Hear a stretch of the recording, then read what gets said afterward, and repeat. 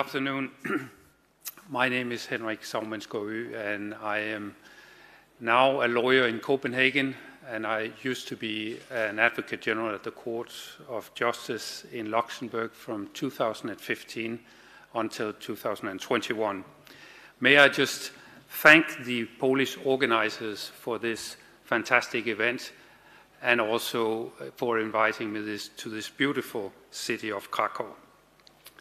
The theme today will be uh, over four judgments where I have served as Advocate General. And let me say from the outset, I was not followed in all of these cases. Uh, the court did not follow part, only partly my opinions.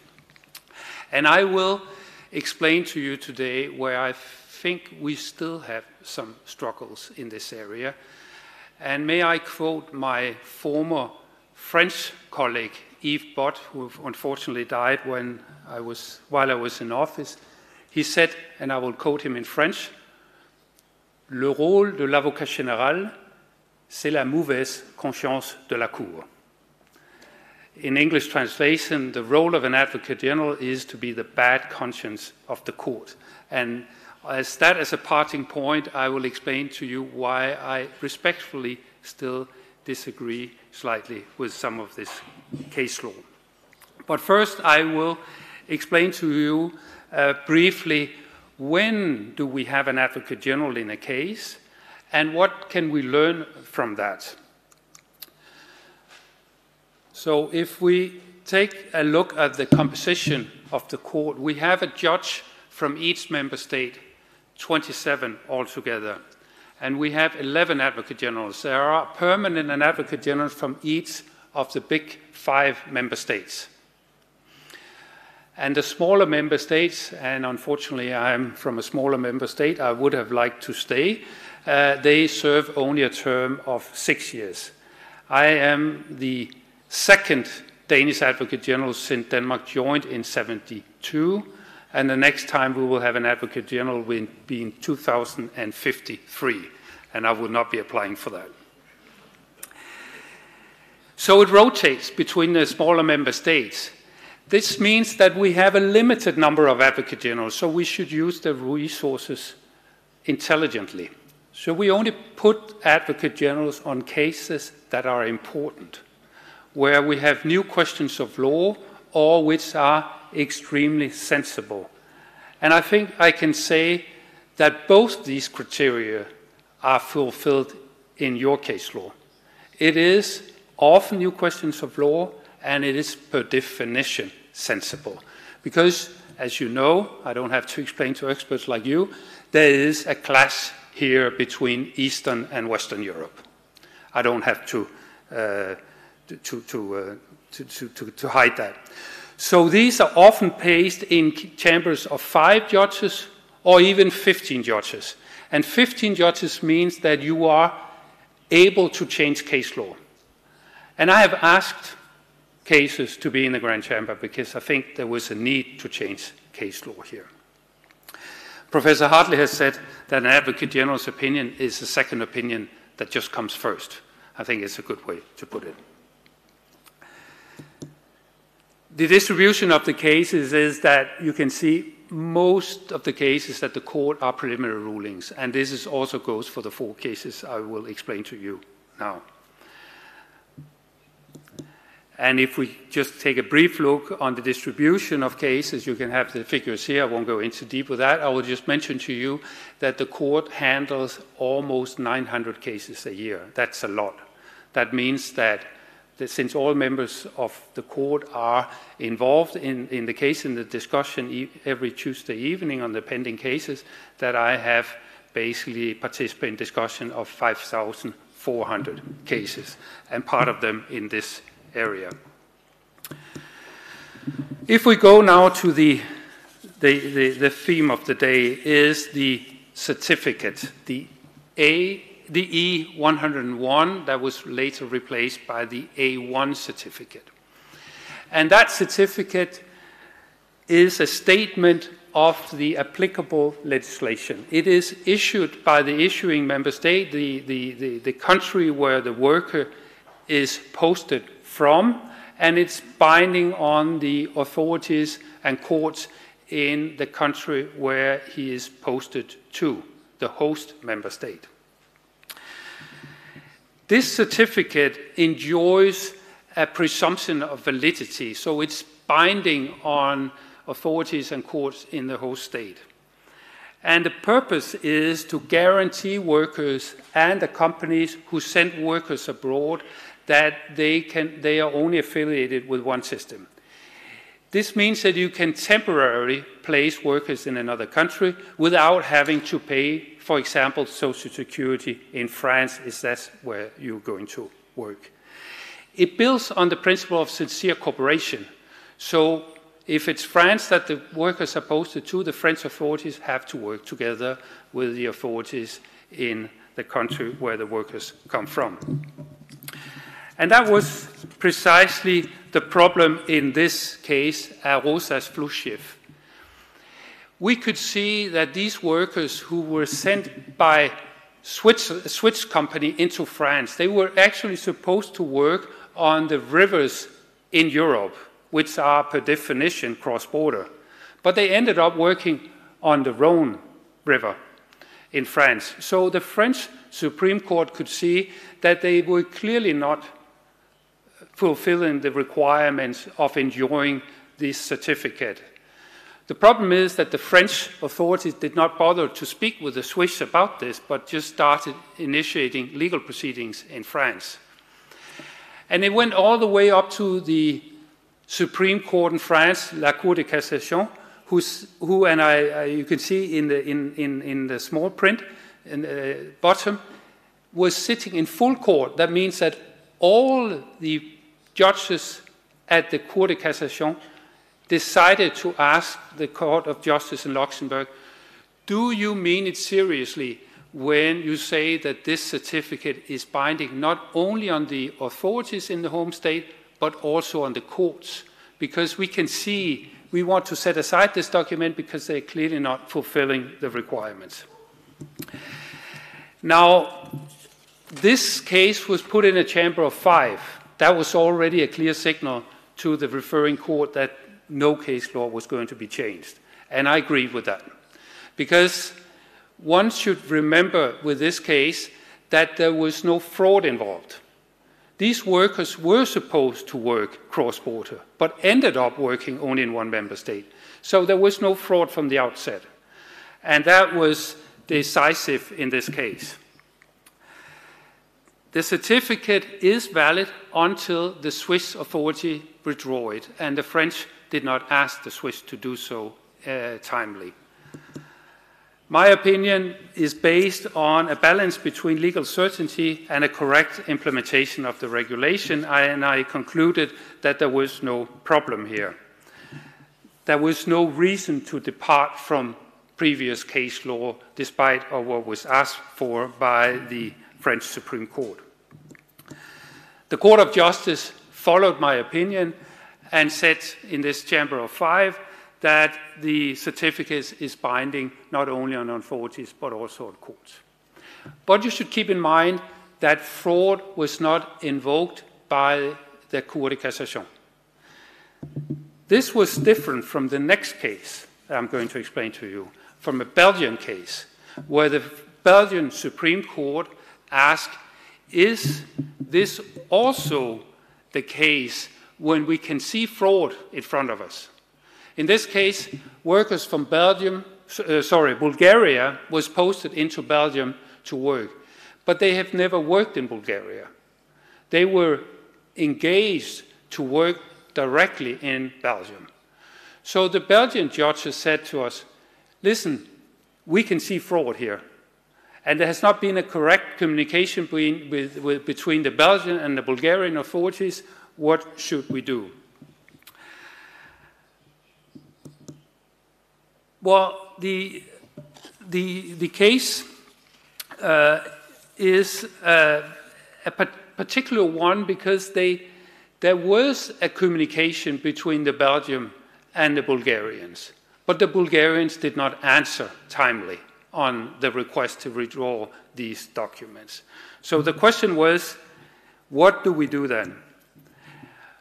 I started my opinion with a quote from a French uh, uh, lawyer saying, Le droit cesse où l'abus commence. We should never accept fraud. And if a Belgian judge, on the basis of the evidence and the witnesses and the, conduct, the, the, the normal court procedures, ends up at seeing that this is clearly fraud, my opinion was then, then it doesn't matter what the Bulgarians are saying. It should never be binding on a judge. It would be an odd situation if a national administration could dictate the result to a judge. That would not be uh, in conformity with the separation of power. And I think even the court had a duty to combat fraud. So my solution to the court was not to tolerate this. And I said, the member state in question, Belgium here, could disapply it. They could not declare it void or annul it, because that would have effect erga omnes. But they could say, in this particular situation where we have proof of fraud, we could set it aside. What did the court answer? Well, it went to the Grand Chamber because for the first time we were actually looking at a situation where we might have to change the case law.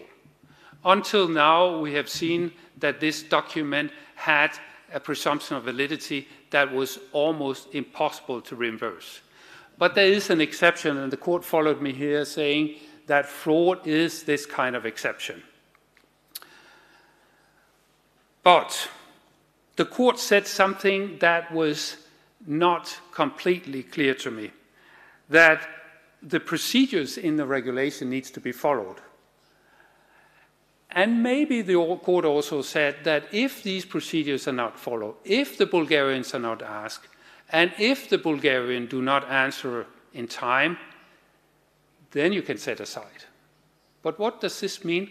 E contrario. Does that mean if the Bulgarian had answered and saying, we disagree respectfully, we think that these workers are actually working in Bulgaria and are sent temporarily to Belgium, then the Supreme Court in Brussels would be bound by that interpretation. I think that this cannot be the case.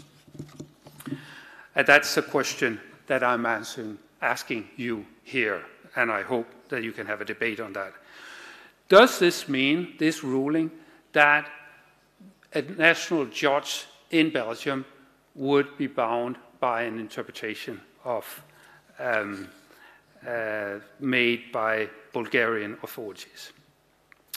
Now, another case came up. They came up constantly. And I was appointed again Advocate General in the Vueling case, which was a situation of workers sent from Spain into France. Now, according to the French authorities, that was not precisely the case because these people have never had an address in Barcelona. They lived in Roissy, uh, close to uh, the airport Charles de Gaulle. And for that reason, said the French authorities, you would not have a situation covered by this certificate. And in fact, and as at the bottom of this slide, in fact, you had a situation where the criminal section of the French Supreme Court set aside these documents without asking for a preliminary ruling, which was a bit daring, if you ask me, because it went contrary to the case law until now, and, and since you are last instance, you are under obligation to ask a question but they didn't. Now, why did this come at all to the Court of Justice? That's because there was a follow up case in the civil part of the French uh, uh, uh, Supreme Court. And they asked, is this certificate binding uh, on us? And does it matter how the criminal section of our court has handled the case? And this enabled the court to clarify the scope in the Altun case. If you look at the pleadings, and I have uh, referred to them in my opinion, you could see that there were two different interpretations of the Altun case law. On one hand, there was the interpretation that the court did not put conditions on the possibility for judge to set aside the certificate in case of fraud. But on the other side, you had several governments, including the Czech and the Irish government, and notably the Commission, saying, well, the court did put conditions in Altun. And they did say that fraud can only mean that you set aside a document if you have respected the procedures in the regulation. And you can only set aside if you have asked and you have not got an answer where these issues are appreciated. So the conflict was real. In my opinion, and you can read that, it's a very long one, I have to warn you. It's very long, too long. I just read it before I came here. Uh, I, I could have said it shorter. But my conclusion is that fraud is not acceptable. If we have here a situation where we have to respect posted workers, we should not start by accepting fraud. Fraud is exceptional and it should set aside everything, in my opinion. So, of course, you should use the procedure in the regulation. But even if you don't, you will still be able to set aside fraud. Or else you will have a bizarre situation where a judge have to accept fraud. Well, the court didn't agree with me.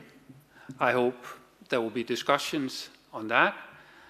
My opinion is that I still, and I have to be careful here, respectfully disagree with the solution. Because I think that the conclusion in this case is even more problematic than in Altun because here it's spelled out. In Altun, you could at least read it in the way there was no condition, but here there is no, uh, no, no doubt anymore. And that's what the court is saying. But again, if the issuing state um, if the issuing state then state that the certificate is granted in accordance with the regulation, does this mean that the court and the host member state have to tolerate fraud? I think that this is a difficult situation to accept, and I'm not sure it is completely in accordance with what the court has said in C 115.16, where we had, and there are several uh, case numbers here because it's joint cases, where the, uh, where, where, money had been transferred through Luxembourg to take tax havens, and where the court said very clearly, in case of fraud, you cannot invoke any rights under EU law. And it goes in all areas of law, except maybe, except maybe in your area of law. And I think uh, that should be changed. I'll turn at last, and I have two minutes left, I can see, to an Alpenrind case, where the situation was reversed, so to say. Here, there were posted workers coming from Hungary into Austria. We're getting closer to Krakow. And what happened here is a slaughtery in Austria were in need of workers. They got them from Hungary. And the first company to send them was Martin Meat, who sent them workers to work in the slaughtery until 1st of January 2012, respecting the two-year limit. Afterwards, Alpenrind, the Austrians, went in to draw an, another contract with another Hungarian company to replace these workers for another two-year period. And eventually, they were replaced by workers from the first company again. Now, the question that arose in this case was is this abuse of law? And one might think, yes, it is. I think it is not. I think that the regulation is clear. You can send, as a company, a Hungarian company, can send workers to Austria to work two years. You're not supposed to replace them by other workers from your own company, but that doesn't mean that another company cannot take advantage of the European legislation in this area. And that's what I said here in the second uh, paragraph. You will have these slides if uh, there's a lot of text on them. But the thing is here, you have two different employers. And if you look at it from the Hungarian perspective, company B might not even know that Alpenrind had workers from company A before they sent their workers. So for me, it's pretty clear that this is not an abuse of law. Now, I'm getting used to not being followed by the court in this. Um, and oh, I, I, go through, I, I, went too fast according to my slides and said there's no, nothing in the word and there's nothing in travaux préparatoires that is uh, a hindrance here, and it is not an abuse. The court not only disagreed, but did so in an obiter dicta, which was even worse, because they were not supposed to answer the question, actually. Uh, but they did so and said, well, it is an abuse. Well, wait a little. What does this constitute? This constitutes that you look at from the Austrian side. So the Austrians were not supposed to abuse this and have workers from Hungary constantly being replacing each other. But that's not, in my opinion, how the rule was written by the legislature. It is the right for companies in Hungary to send workers. It is, in fact, what I was reminded when I walked up the stairs to lunch. It is a part of Article 56 of the treaty. It's the right to deliver services, a fundamental right. And I think that here we do have also an issue. Is these rights the rights that belongs to the companies who send workers, or could it all of a sudden be an abusive uh, uh, uh, problem if we look at it from the receiver of the services side? I think that's the main difference here. And I hope that you will have find time to discuss these issues and uh, also if we are in a situation where fraud is now to be accepted. And I thank you for your time. And if you have any questions to this, you're very welcome to contact me. Thank you very much for your attention.